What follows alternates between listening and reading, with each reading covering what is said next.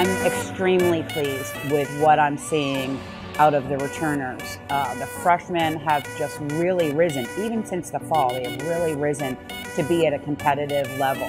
So from top to bottom, I feel like we have a whole lot more depth in our attack. Uh, we have a lot of freshmen who are who are immediately contributing. Uh, Caroline Murphy, Caitlin Kozlowski, uh, Lonley Crotty, right off the top, right there. You've got three players who we're going to see their name in the paper. I mean, they're going to be written up in the stories, and they're going to be written up in the stories right away. So we're very, very excited with that.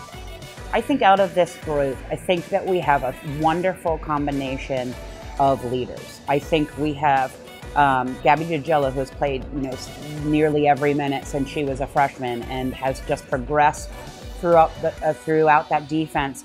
Uh, so she is really our lead by example um, team captain slash senior. We have two other seniors, Dana Stevens and Amanda Zakowski. Both, I am so proud of both of them. They have both come, in, come back in better shape than they've ever been.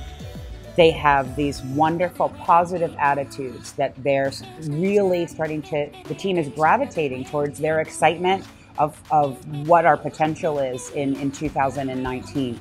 Um, their energy is so great. Uh, both of them are very, very good players, and I expect to see a, a lot out of, of both those players. Um, and I've seen them come such a long way some, since their freshman year. So I, I, love it when a senior is peaking. And I think that, you know, we've done our jobs. They, as student athletes, have done their jobs. When they peak their senior year, that's exactly what it should be. They should, they should be able to graduate saying, I played to the best of my ability. I got the most out of my lacrosse uh, that I could. And, and hopefully we go out, you know, with a little trip to the NCAA tournament for them. We have fantastic team chemistry. Uh, might be the best that I've ever that I've ever coached. This is a caring team. This is a kind team. Uh, this is a team that communicates outstanding in an outstanding way. Um, I, I am so excited to go to practice every day. Uh, they've been stepping up with individuals and working hard on their own. Uh, we, I just have people in my office all the time. They, they just, they love the game. They love each other. And um, I think it just is a formula for success when you have that because you're willing to work so hard for your teammate, work so hard for your coaches.